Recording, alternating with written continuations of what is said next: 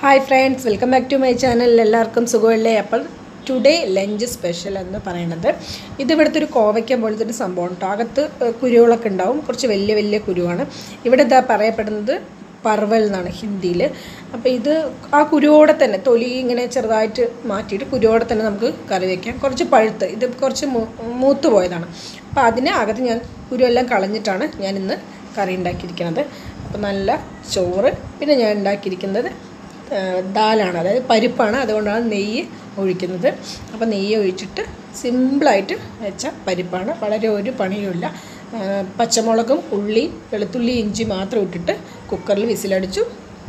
കടുക് പൊട്ടിക്കണം നിർബന്ധമൊന്നുമില്ല. ഞാൻ കുറച്ച് ജീരകം ഇട്ടിട്ട് കടുക് പൊട്ടിച്ചിട്ടുണ്ട്. ഇത്രയേ ഉള്ളൂ.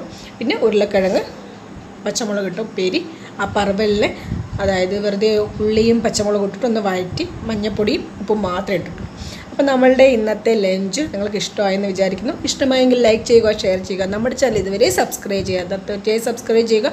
മറ്റൊരു വീഡിയോ ആയിട്ട് വീണ്ടും കാണാം. താങ്ക്